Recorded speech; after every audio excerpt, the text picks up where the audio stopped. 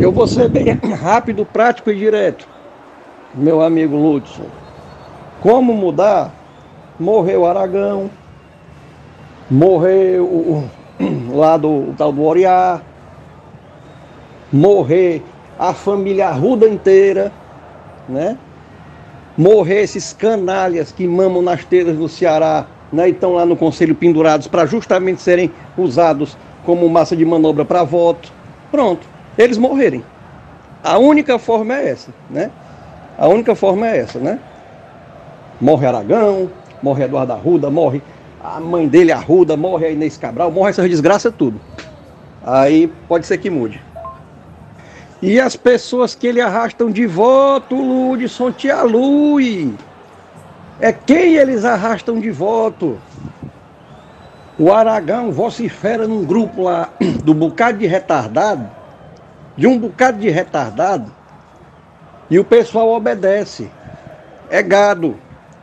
Eduardo Arruda tem mãe, irmão, até o vagabundo do ex-prefeito de Baturité, o Assis Arruda, eu me surpreendi quando vi que está na lista também de conselheiros, né? Pai, mãe, irmã, irmão, rapariga, deve ter até um viado dele lá também no meio. A maior esculhambação do mundo, né? Pinheiro, né? Que aliás, ô oh, vergonha, meu Deus, da minha Baturité. E essa raça toda é de lá, né?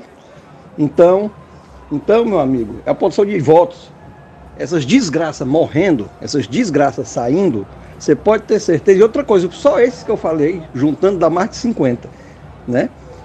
Mas o problema não são só eles, não. Eles, e de quem eles puxam o voto. Essas desgraças morrendo, com a queda de um avião, acredito que a coisa dê certo. Por isso que eles precisam morrer. Tu consegue imaginar o conselho sendo aberto, o valor do sócio proprietário sendo diminuído. É isso que vocês não enxergam. Gente, é proposital.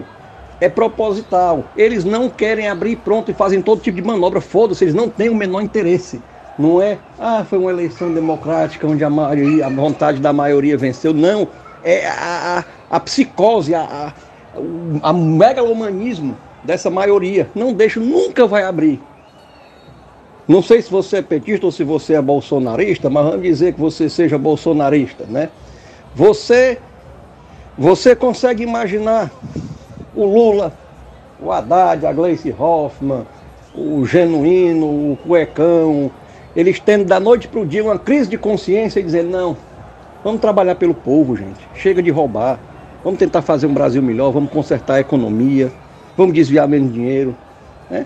Pronto, é a mesma probabilidade que esse conselho vagabundo que aí está, né, com esse presidente que é um banana, mas mostrou-se que também consegue ser vagabundo, né, ter essa crise de consciência e dizer, não, pronto, vamos, vamos baixar o sócio proprietário, vamos deixá-lo deixá acessível para que o torcedor possa entrar, vamos desburocratizar a entrada do sócio proprietário para o conselho, vamos abrir o conselho. É muita inocência, filho.